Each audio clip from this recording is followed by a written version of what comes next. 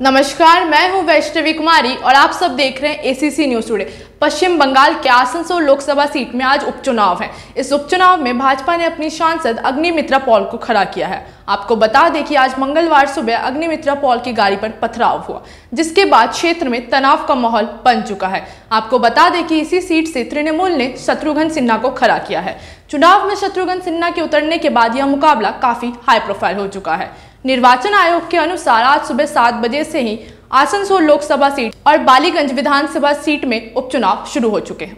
वहीं पॉल ने तृणमूल पर आरोप लगाते हुए कहा है कि उनके पोलिंग एजेंट को बालाबानी के मतदान केंद्र में नहीं जाने दिया और उनके गाड़ी पर भी पथराव किया गया है, जिसके जवाब में तृणमूल ने कहा है कि उन्होंने क्षेत्र में अशांति फैलाने की कोशिश की। तृणमूल को कहना है कि कोई एक विधायक 20 गाड़ियों से क्यों घूम रहा था और उनके सुरक्षा कर्मियों ने क्षेत्र में अशांति फैलाने की कोशिश की है।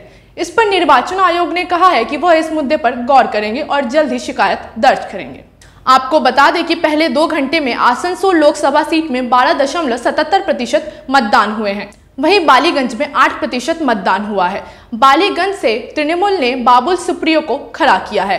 आपको बता दें कि बालीगंज का प्रतिनिधित्व करने वाले राज्य के मंत्री सुब्रत मुखर्जी का पिछले साल देहांत हो गया था, जिसके बाद आसनसोल लोकसभा सीट और बालीगंज विधानसभा सीट में उपचुनाव का आयोजन किया गया है।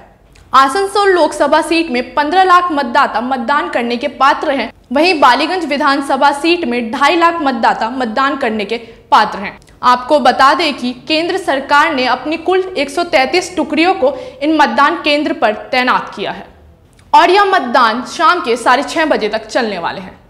ऐसे ही देश प्रदेश की खबरों को देखने के लिए बने रहें हमारे साथ और देखते रहें एसीसी न्यूज़ टुडे सब्सक्राइब करें हमारा यूट्यूब चैनल।